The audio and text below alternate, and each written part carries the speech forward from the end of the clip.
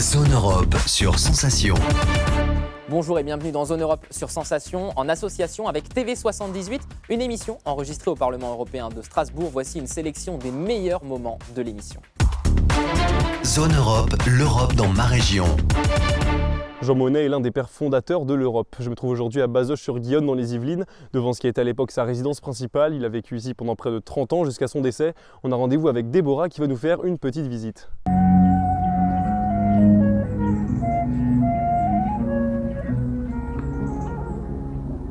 Bonjour Déborah. Bonjour. Alors expliquez-nous un peu euh, où est-ce qu'on est actuellement? Euh, Aujourd'hui, vous êtes à la maison Jean Monnet à Bazoches-sur-Guillaume de les Yvelines. Donc c'est ici que euh, Jean Monnet a vécu de 1945 jusqu'à sa mort en 1979. On passe à la visite? Bien sûr, allons-y. Donc nous sommes ici dans le salon de la maison Jean Monnet. Euh, pour commencer cette visite, euh, euh, je vais vous parler de la déclaration Schuman. Donc c'est ici que cette déclaration a été écrite, dans ces salons même, par Jean Monnet et ses collaborateurs en 1950. Et donc c'est à travers cette déclaration qu'a été donné le coup d'envoi à la première communauté européenne du charbon et de l'acier. Très important est cette, euh, cette, euh, cette feuille euh, de synthèse où on peut voir le déséquilibre militaire à faveur de la de la de l'Allemagne nazie. On peut voir à travers avec un coup d'œil effectivement la supériorité militaire en, en armement allemande. Donc, euh, à travers ce, feuille de synthèse, euh, on peut voir, et euh, qui est montré par, Jean Monnet au président des États-Unis, Roosevelt, hum, qui convainc Roosevelt et les États-Unis à rentrer en guerre, donc à côté des Alliés.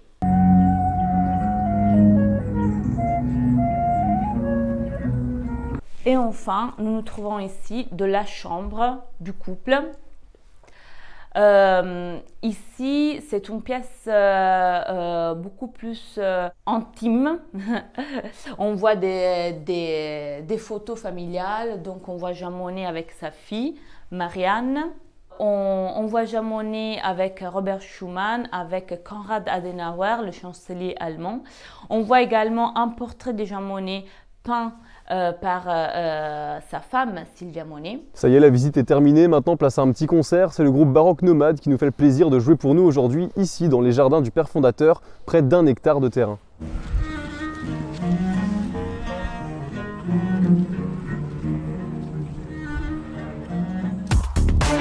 Zone Europe, l'invité politique.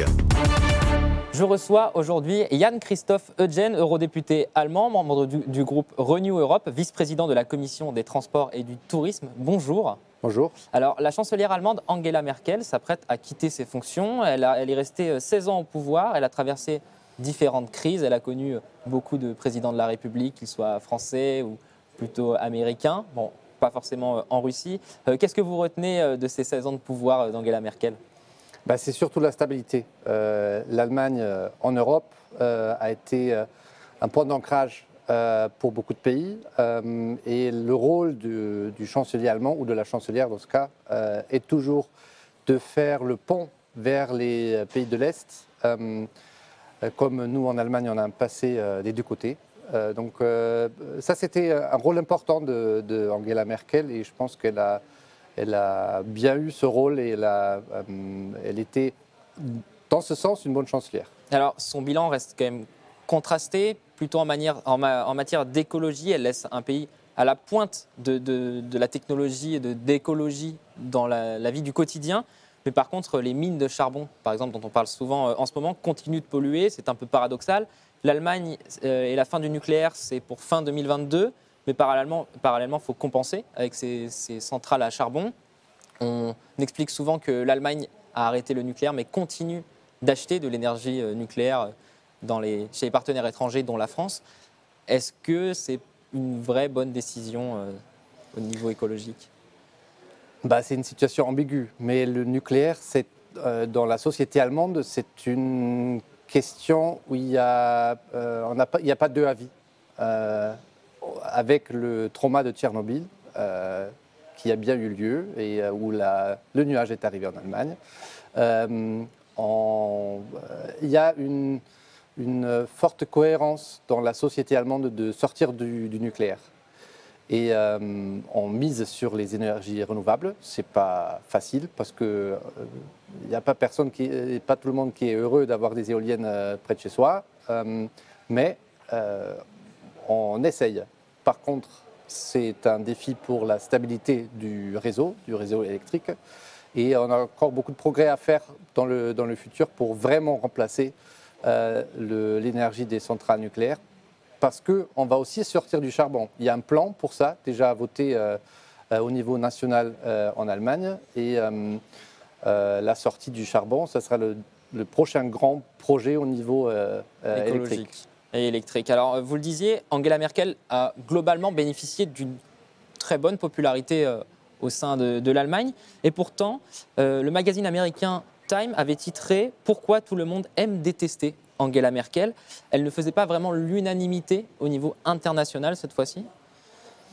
Bah déjà, en Allemagne, elle ne faisait pas l'unanimité, hein, euh, parce qu'elle elle était quand même une, une, femme politique conservatrice. Donc, les grandes réformes du, pays, et on en a besoin, euh, elle ne les a pas euh, entamées. Donc euh, c'était un, sujet clé aussi à la fin de son mandat, et c'est pour ça que maintenant, il y a beaucoup d'espoir qu'il y ait des réformes qui, qui, vont débuter. Et on est dans la scène, sur la scène internationale, avec la décision sur la migration en 2015-2016, c'était un moment clé où on était pour ou contre cette, euh, cette décision. C'était une décision très clivante. Euh, et je pense pour ça, euh, il y a beaucoup qui détestent Angela Merkel sur la scène internationale.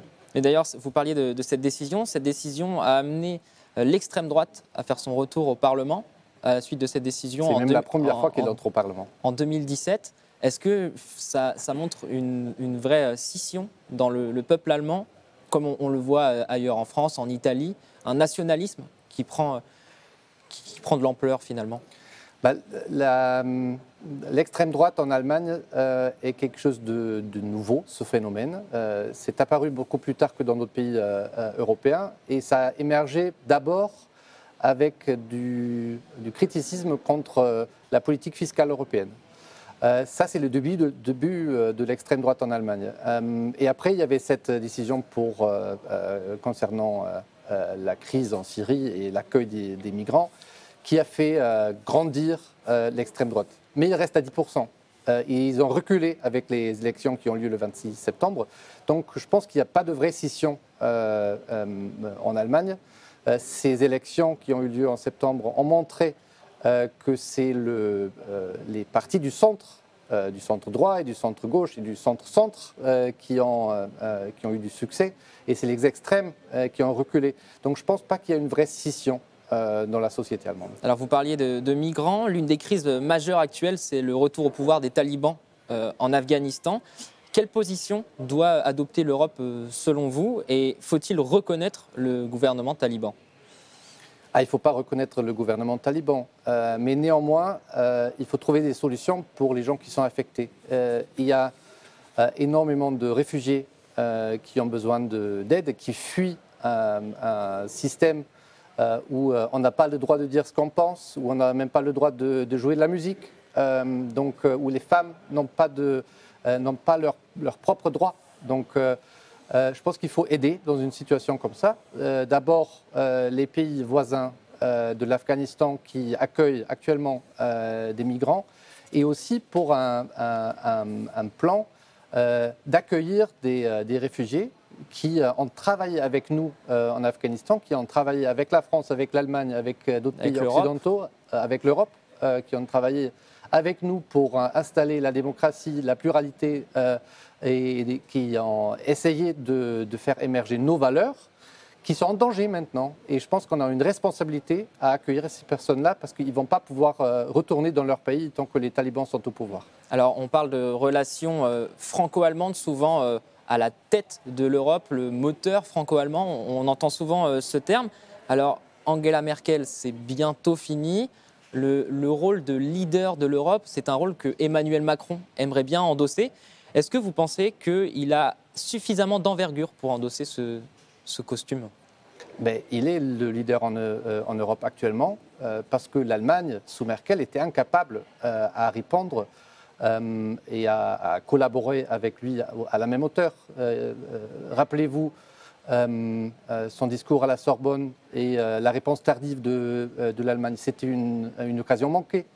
On aura maintenant la, situation qu'on aura un nouveau gouvernement en Allemagne. On aura les élections présidentielles l'année prochaine en, France. Il y a un nouveau tandem qui, va se, créer et j'espère que euh, l'issue de ce, tandem, il y a beaucoup d'énergie pour, l'Europe parce qu'il faut faire bouger les choses pour que l'Europe soit pas que dans les têtes des gens, mais aussi au- dans, les cœurs des gens, parce que on doit amener des solutions à des problèmes qui sont, qui sont là, qui sont présents. euh, et euh, actuellement, on est trop lent dans les processus de décision en Europe. Alors, vous parliez hein, de l'élection présidentielle en France en 2022. Euh, Est-ce que les Allemands se montrent attentifs à ce qui euh, se passe en France, à ce qui va se passer en France Parce qu'il il faut rappeler aussi que euh, la France prendra la présidente tournante du euh, Conseil de l'Union européenne à partir du 1er janvier 2022. Oui, c'est une situation, un moment clé pour l'Europe, parce que la France, en tant que grand pays de l'Europe, elle a une responsabilité de faire avancer des dossiers. Et en Allemagne, le- notre agenda, c'est d'avoir un nouveau gouver- gouvernement avant Noël. Euh, j'espère que ça va se passer comme ça. Donc, euh, je, pense, euh, je pense que ce sera un bon moment euh, pour euh, relancer une dynamique dans des, dans des dossiers clés euh, euh, en Europe. Et euh, on n'attend pas, on est prêt à travailler avec euh, le gouvernement français et on espère bien que ça sera euh, le même gouvernement et avant et après les élections. Ah, vous- pensez que le peuple allemand est très attaché euh, peut-être à Emmanuel Macron et, et ses idées? On reconnaît quand même que Emmanuel Macron, euh, il a des idées pro-européennes et euh, euh, il y a une large majorité en, en Allemagne qui soutient cette idée pro-européenne.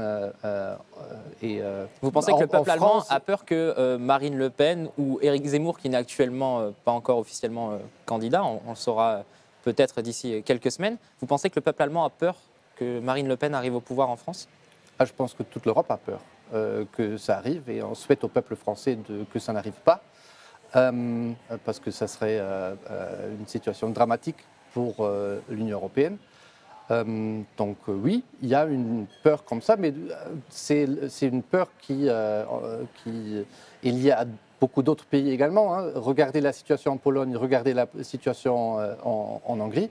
C'est euh, euh, quelque chose euh, où euh, on doit être très attentif et ferme euh, en même temps, parce qu'on ne peut pas accepter euh, qu'en Europe, euh, des, droits fondamentaux sont, bafoués, et l'Europe doit être très fort vis-à-vis de ces défis.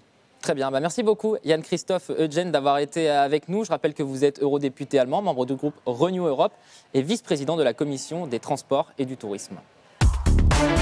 Zone Europe, l'invité politique. Le 15 août dernier, en seulement quelques heures, Kaboul tombait aux mains des talibans. 20 ans après avoir été chassés du pouvoir, les talibans ont repris le contrôle de l'Afghanistan. Quel avenir pour les femmes dans ces conditions? Aujourd'hui, je reçois l'eurodéputé belge Asita Kanko. Bonjour. Bonjour. Alors, vous êtes membre de la Commission des libertés civiles, de la justice et des affaires intérieures et membre de la sous-commission des droits de l'homme. Tout d'abord, votre sentiment sur cette prise de pouvoir des talibans. L'Afghanistan, c'était un combat peut-être déjà perdu d'avance pour les forces internationales dès leur arrivée. Je, ne crois pas que c'était euh, un, combat perdu d'avance, mais aujourd'hui, on se rend bien compte qu'il y a eu beaucoup d'erreurs. Et quand on regarde euh, la façon dont euh, l'ancien président, donc, enfin le président afghan s'est enfui en abandonnant son pays et son peuple, on, on se rend, et, et apparemment avec beaucoup d'argent, on se rend compte que la communauté internationale a beaucoup sponsorisé la corruption, qu'il n'y a pas eu, qu'il y a eu beaucoup d'assistanat et qu'il n'y a pas eu beaucoup de, renforcement de la capacité au niveau local. Donc aujourd'hui, moi, je suis très inquiète pour la situation des femmes et des filles.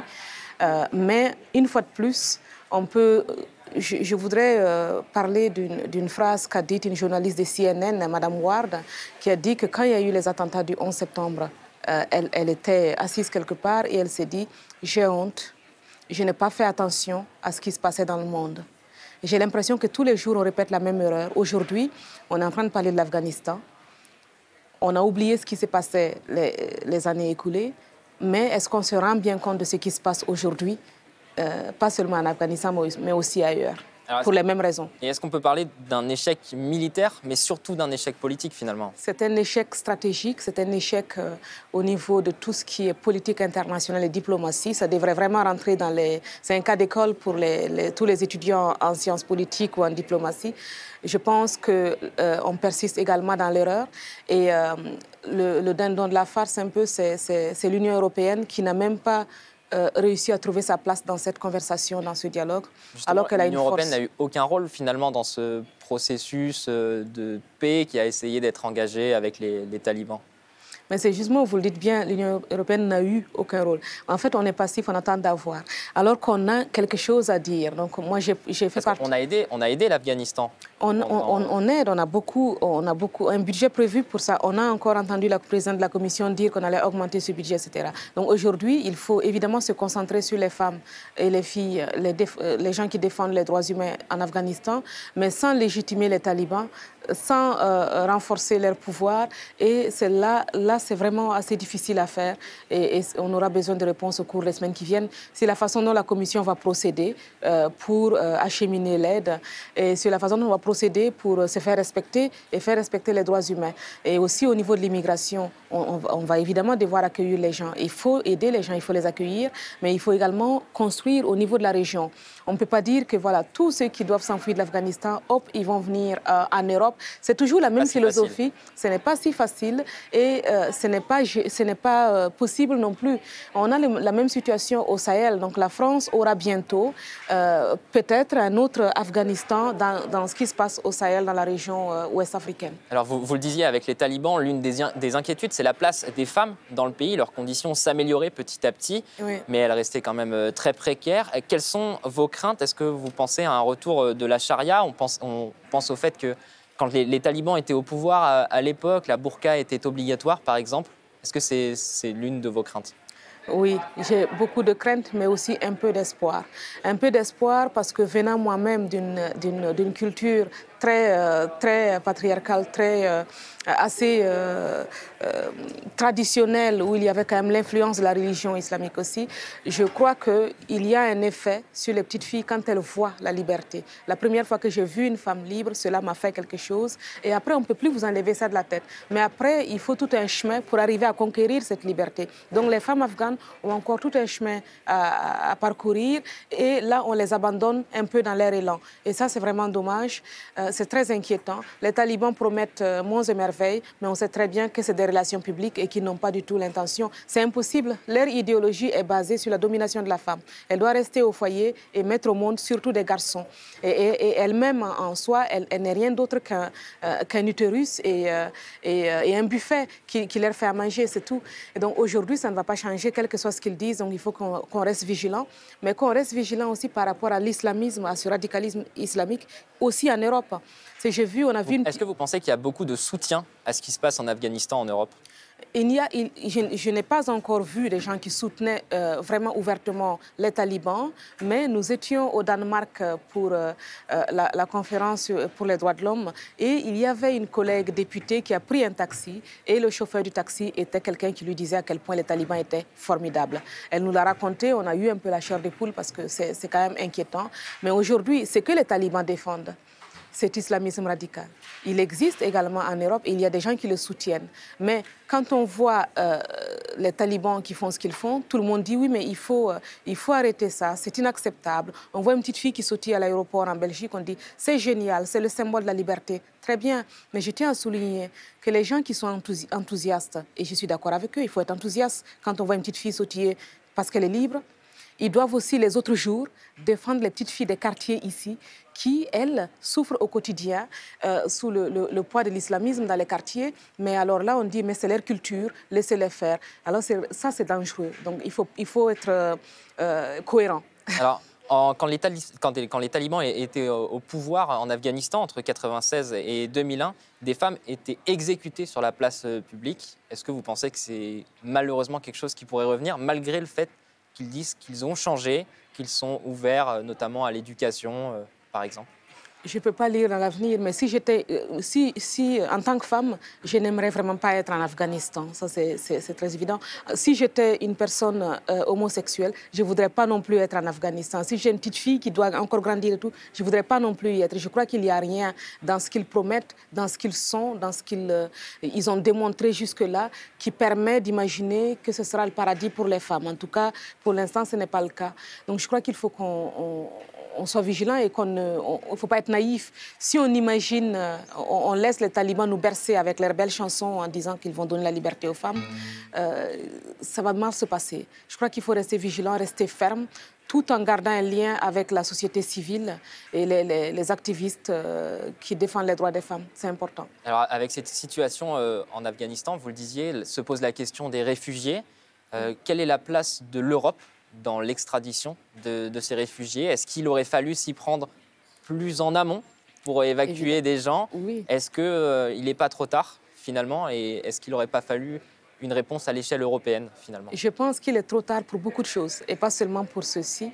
Euh, je crois que il fallait agir en amont. Pas, pas, seulement quand, quand, le président Biden a commencé à dire qu'il fallait euh, qu'il allait quitter l'Afghanistan. Il a, il a évoqué les 300 000 soldats formés que face à, 75 000 euh, soldats talibans. Mais c'était évident, c'était évident que ça allait mal se passer et que Kaboul allait tomber. Et donc, on a été en retard.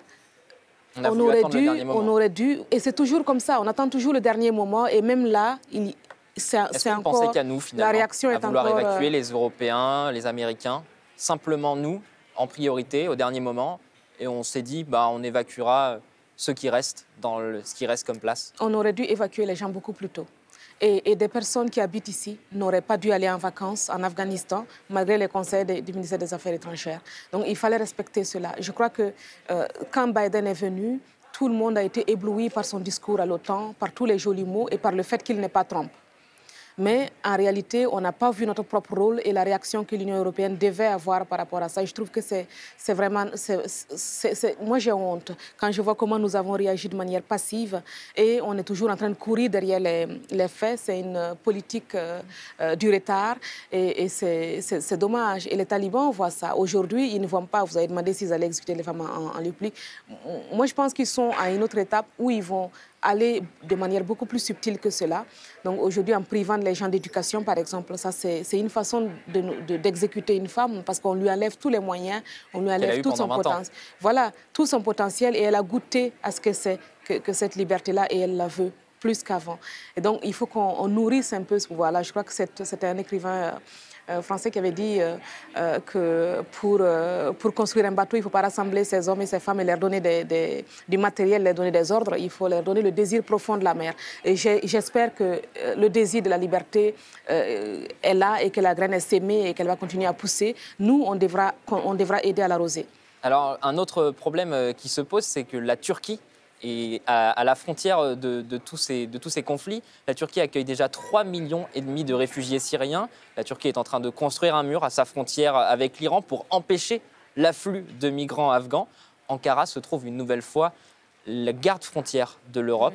Comment est-ce que l'Union européenne va encore gérer une nouvelle crise qui va s'ouvrir avec la Turquie? C'est encore aller euh, gérer, euh, la conséquence de l'inaction. Alors que si on avait agi en amont, on ne serait pas dans cette situation et ça ne concerne pas que l'Afghanistan, c'est aussi ce qui se passe. Hier encore, il y a eu euh, un bateau qui a dû être secouru au large de Lampedusa avec plus de 700 réfugiés à, bord, migrants à bord. Et donc, on, assiste à une répétition des choses et la Turquie va continuer à monnayer sa position et, euh, cette, euh, cette, absence de, politique migratoire euh, et l'Union européenne va continuer à se laisser avoir. Et il n'y a pas que la Turquie. Aujourd'hui, on doit également faire face à l'attitude de la Chine et du Pakistan qui jouent double jeu avec, avec les talibans. Donc on, risque de se retrouver dans une situation où on n'a rien à dire, où on va simplement subir et courir après les faits et gérer des conséquences et subir d'autres chantages de la part d'Erdogan ou, de, ou de son remplaçant. Ou alors on va se faire avoir quand il y aura quelqu'un d'autre qui remplacera Erdogan et qui sera peut-être moins brutal apparemment. On va faire comme on a fait avec Biden et Trump en disant oh mais il est tout gentil le président américain. Moi je dis pas qu'il est méchant, mais il, défend son pays. Il défend son pays et c'est le rôle, c'est le rôle des dirigeants politiques. Ce que nous devons faire, c'est défendre l'Europe. Merci beaucoup, Asita Kanko, d'avoir été euh, avec nous dans Zone Europe sur Sensation. Je le rappelle, vous êtes vice-présidente du groupe des conservateurs et réformistes européens, et puis vous êtes membre de la commission des libertés civiles, de la justice et des affaires intérieures, et membre de la sous-commission des droits de l'homme. Zone Europe. Zone Europe, c'est terminé pour aujourd'hui. Merci aux équipes techniques du Parlement européen de Strasbourg. Vous pouvez retrouver cette émission en podcast audio et vidéo sur notre site et notre application Radio Sensation et aussi sur TV78. Rendez-vous la semaine prochaine. Très bonne soirée. Zone Europe sur Sensation. Zone Europe avec le soutien financier de la région Île-de-France.